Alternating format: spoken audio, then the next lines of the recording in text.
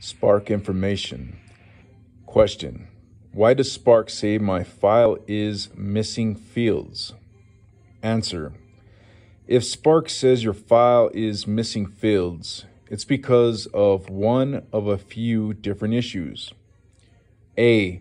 Depending on your MLS, if yours required a custom export setup, then you may have missed a few fields.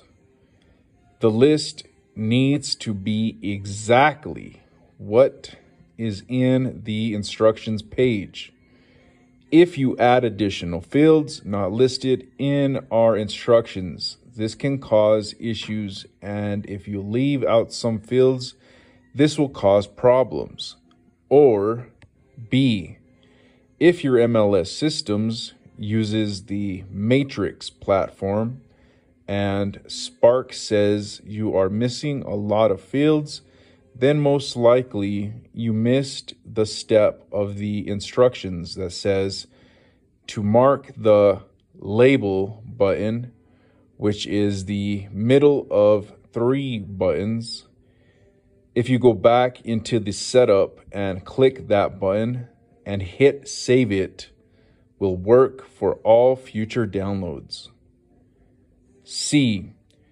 You mistakenly forgot to choose the correct Spark export when you hit export and slash or in Flex Systems. You also have to click the button that says Custom Text Export. D. It's possible, but rare, that your MLS made a change to the name of a field. If you are confident you did everything correctly, give us a call and we can update Spark within minutes for any MLS change.